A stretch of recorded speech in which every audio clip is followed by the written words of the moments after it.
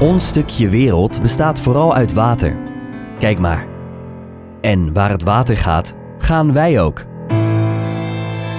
De stad, de polder, de havens en langs de kust. Wij zorgen met kennis, kunde en passie dat de wereld om ons heen leefbaar blijft.